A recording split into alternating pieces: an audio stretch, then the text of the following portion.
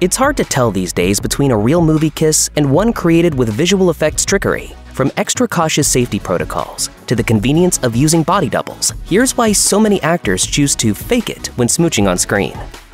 Thor The Dark World sees Thor's corner of the MCU fall into crisis. Hundreds of years after the Asgardians defeated the Dark Elves, Jane Foster, played by Natalie Portman, finds a powerful weapon called the Aether, which uses her as its host. Thor, played by Chris Hemsworth, must protect her from the Dark Elf Malekith before he captures her and uses the Aether to wreak havoc on Earth. During the after credits scene, Thor returns to Earth. With the day saved and Malekith gone, he shares a passionate and celebratory kiss with Jane. Surprisingly, Hemsworth didn't actually kiss Portman during the scene.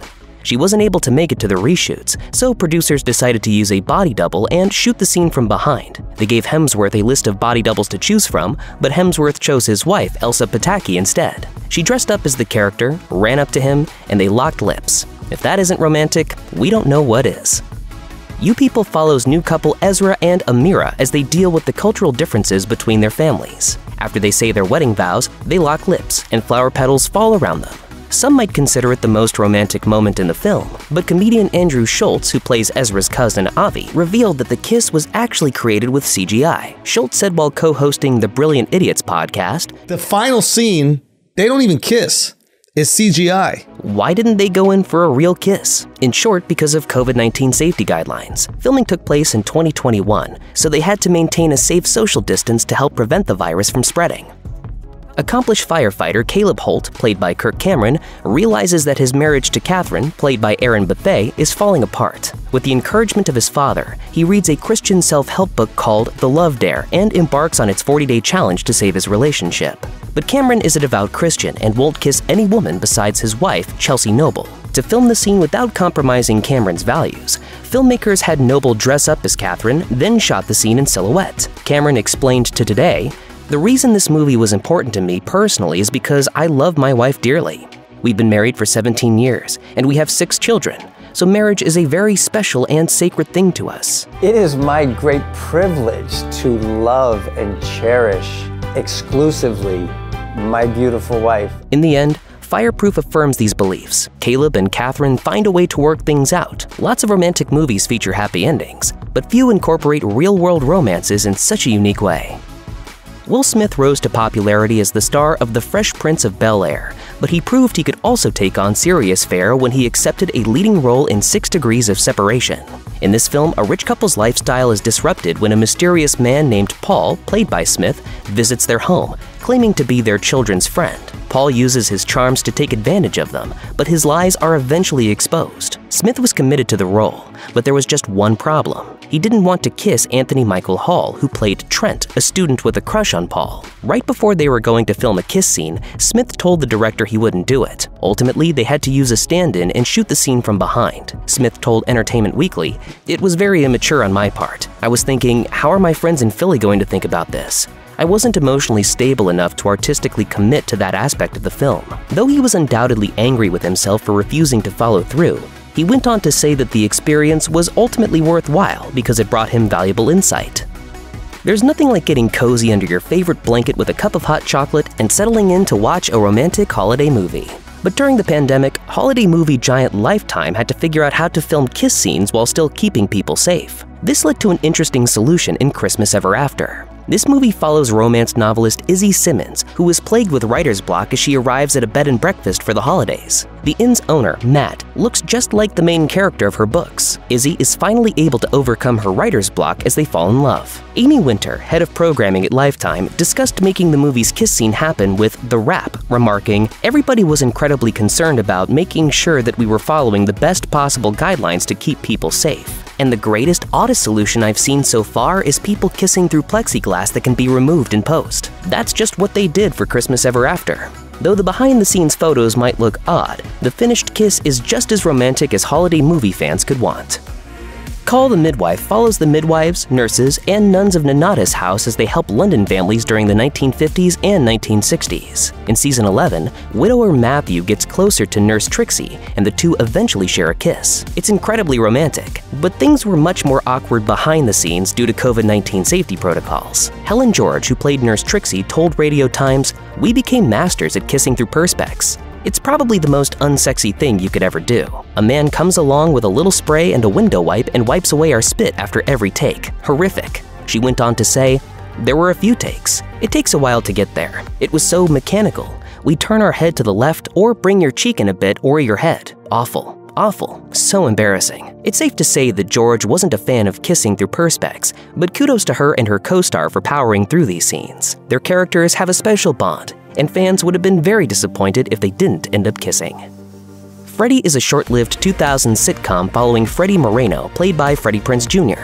Freddie is a chef who takes in his older sister, niece, sister-in-law, and grandmother after times get tough. Women, Wear your women things. The man things. The show's opening sequence features numerous Freddie clones interacting with many different characters. They make out with women, argue with grandma, and help Freddie's niece with her homework. Visual effects supervisor Jeff Oken explained to VFX blog, the premise here is that Freddie is all things to all his family and friends. They wanted a main title to reflect this, so the show's creators came up with the idea of having Freddie continually clone off into a new Freddie for each person's needs. To create the multiplying Freddie smooching, the visual effects crew created a mishmash of partially real and partially fake kissing. First, the crew filmed Prinze actually kissing the actress. After that, they did another take with Prinze pretending to kiss her, so he could play the part of the different clone that splits off at that moment. Oken said, We used the frozen video to position him to match himself. That way, the clone would start on the movement of splitting apart, and all we needed to do was use an articulated wipe to reveal the new Freddie. It took many tries to get everything lined up properly, but in the end, they pulled it off. EastEnders is a long-running soap opera exploring the drama-filled relationships between the people of London's East End. And what would a soap opera be without plenty of kissing scenes? Filming intimate moments during the pandemic was a challenge, however. Luckily, the crew found multiple ways to get around this issue while still following COVID-19 protocols. In 2020, executive producer Jon Sen told Sky News, For those really crucial moments where two characters kiss, we've actually invited the real-life partners of the actors onto the set to be able to cheat those kind of moments. These scenes were also shot from specific angles to obscure the fact that body doubles were used. This wasn't the only bit of clever trickery the creators of EastEnders employed. To film scenes involving characters who live together, producers used perspex to make close proximity COVID safe. At other times, they used plate shots, which combined separately filmed actors into one coherent shot.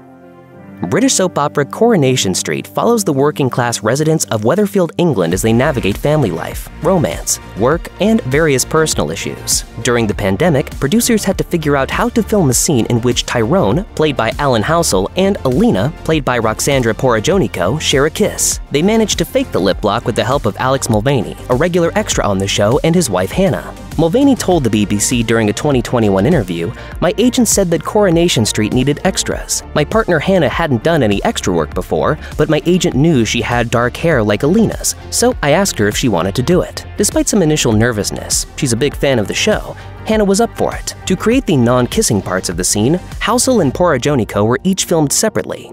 Because they couldn't gaze into each other's eyes, the actors looked at a pair of sunglasses taped to a pole. Once everything was filmed, visual effects artists brought these disparate shots together into a coherent whole. In this long-running Australian soap opera, the residents of Ramsay Street face challenges involving work, love, their pasts, and much more. Like many other shows filmed during the pandemic, the makers of Neighbours didn't want to exclude kiss scenes, leading them to explore unique approaches. Colette Mann, who plays Sheila Canning, revealed one way they made the smooches happen. Each actor kissed a mirror. Then the visual effects team worked their magic, making it seem like the characters were kissing each other.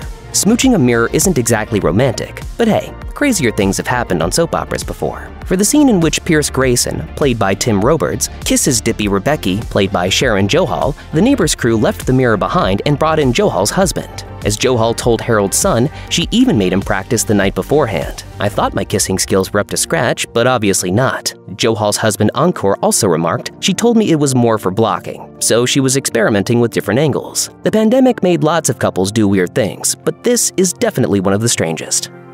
Plan A Plan B centers around matchmaker Dr. Nirali Vora, played by Tamannaah, who opens up a business next to cynical divorce lawyer Kaustubh Chagule, played by Ritesh Deshmukh. They constantly butt heads, but have so much chemistry that they end up falling in love. Though Deshmukh refuses to do on-screen lip locks, the two characters manage to have a lengthy kiss scene. Filmmakers made this happen by using certain camera angles to create the appearance of kissing, without Deshmukh and Tamannaah ever actually making contact. Some viewers find the faux smooch convincing, but others think it looks laughably fake. Why the deception? Fans speculate Deshmukh believes kisses are meant to be private moments between two people.